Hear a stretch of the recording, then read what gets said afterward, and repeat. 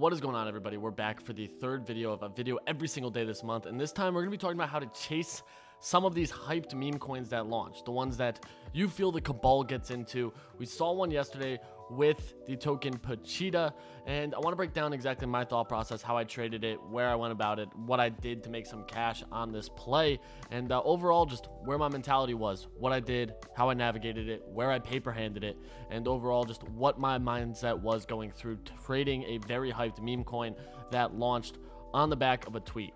So let's just get right into this. The ticker was Pochita.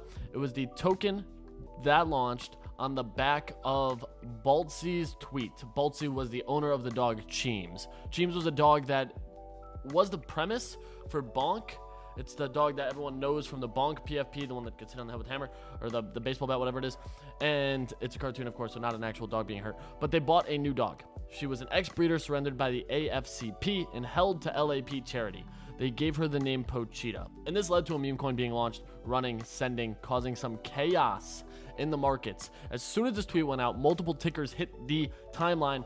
And the best way to capitalize on this is if you're at your computer, it's never a bad time to have a scanner open. What is a scanner? Well, I personally use something like a BullX. Obviously, we work with BullX, but the best way to navigate this is to look at something like Pump Vision, where you can see new tokens that hit. And when you start to see the same token pop up multiple times on this left side in new creations, you know something may have happened on the timeline. So immediately what I did was I kept seeing Pochitas pop up, four or five of them. Checked my Telegram groups that I'm in. It's best to have a group, whether you're in a Discord group, Telegram, Twitter chats, somewhere where people are trading alpha people are active in the markets, and many people started sharing this tweet again, the Boltsy tweet, who talked about Pochita. So I was like, okay, I gotta just buy these and figure out which one is going to be the right one. So the first one that I actually bought was the Pochita token on Solana. And you can see here, right after it launched, it was immediately bonded. So it immediately went to Raydium extremely, extremely quickly.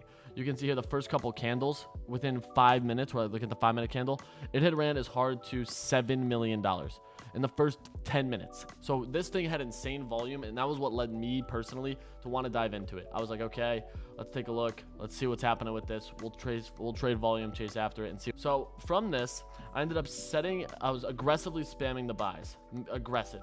So what I was actually doing here was I was taking a look at this right side and looking here where my buy priority. I adjusted it to 0.05 set slippage much higher, and disabled MEV protection. I could have been MEV'd, but because of the volume that was on there, I didn't really worry about it. I was mainly focused on just getting a transaction through. And once that transaction went through, I can actually show you where I got in. So we'll show my trades here. You'll notice I bought in for $300 here, and it was at a 386K market cap.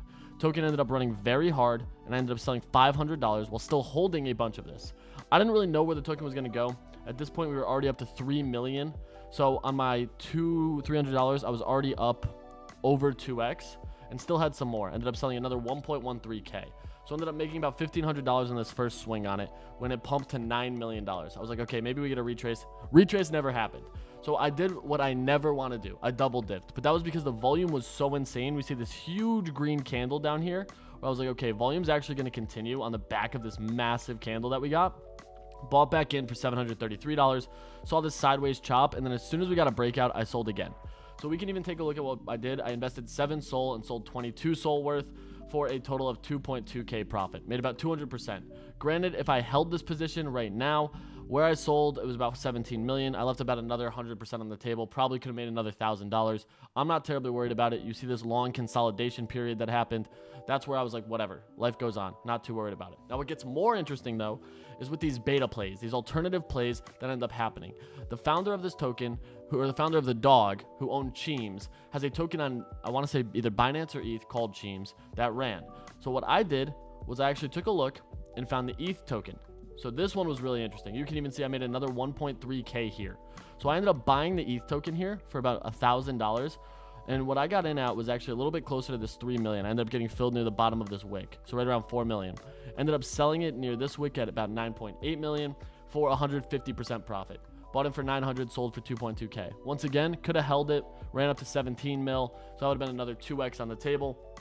I'm more aggressive about taking profits, especially when you size in on a token that's on ETH. It moves a little bit slower. But granted, I made a great trade here. You can see the rest of this chart. It consolidated, ended up selling off after that big pump, and now it seems like the Solana token that we just looked at is going to be the winner. That's sitting at 28 million. The ETH one's sitting at 4 million. So we know which one's going to win. That's why I saw the ETH play, Knew Cheems was on another chain, Knew people may FOMO buy into ETH, there's more liquidity, they trade slower, got in and out. Could have kept this position in Pochita on SOL. Realized though, there's alternative plays to make, and you can still get some capital in the market trading some other chains. Then the other thing I did here was when I saw this Pochita on SOL running so hard, all the way up to this 20 million area, and even 15 mil, I saw another Pochita launch that had some great volume. This one, I only made $64, 22% profit, because I ended up seeing it tail off and die here. But I wanted some exposure because we've been seeing PvP metas where people say this token launch first, this token launch first, and you want some level of exposure. So I bought in this one as well for about $300, ended up selling it for 360, 358, just because I saw the volume declining and we watched it inevitably trail off. So I ended up buying into this around the 1.2 million, selling it around like 1.4, 1.5. Ended up just cutting quickly because I saw the volume decline and more volume cycle back to the other main Pochita. I know we're talking about a lot of these tokens, but when you start to see volume cycle into one token and out of another, it's better to let that one ride, cut positions. And what I was just trying to do was hedge my bet. I was up so big on this token that I wanted to make sure I didn't lose capital and I could take a small swing in case another Pochita gained legs and traction Cabal KOLs decided this was the right one. Granted, they didn't. So more, it was a hedge and a protective play where I was just trying to protect my downside, get a little bit of exposure in case another Pochita ran. And you can even see this one pumped all the way up to 2.6 million after going as low as 600k. So there's even swing trade opportunities on beta plays, alternative plays until the real one is decided. And we got the real one. So yes, I paper handed it. That is life, but it's more just showing you the transparency of how I navigated and how I traded this token that ran so hard all the way up to $30 million here with a peak of 42 million. I'm surprised it ran this hard. I was thinking it may run to like 15 mil and I would have been comfortable with that because we saw something like Repost Dog go to 15 mil. We've seen other tokens struggle to really break above that 15 mil market cap aside from Moo Deng. And granted, this one looks now like it's pretty clear it's going to go to 50 mil at some point unless it dies off here and drops back down towards this like 17 area. But I'm out completely. I'm not interested in buying back in. I made my money at four or five thousand dollars, and as quickly as I mean, you can even look here. Like this was about two hours, made five grand. Where else in the entire world are you making that type of money?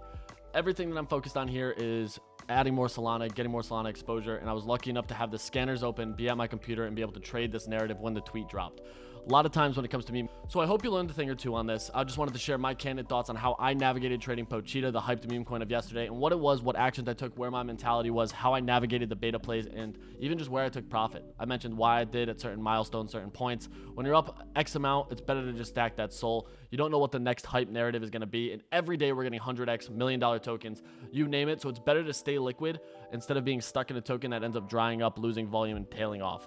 Of course, obviously I could have held this for bigger capital, but at the end of the day, I made my money. I'm content with it. Stacked more Solana, and now I'm back in the trenches looking for the next play. If you learned a thing or two in this video, if you appreciated the insight on a token itself, let me know in the comments below. Hit the like, hit the retweet, hit the subscribe, do anything and wherever you're watching this on Twitter or YouTube. I appreciate you as always. We'll catch you next time.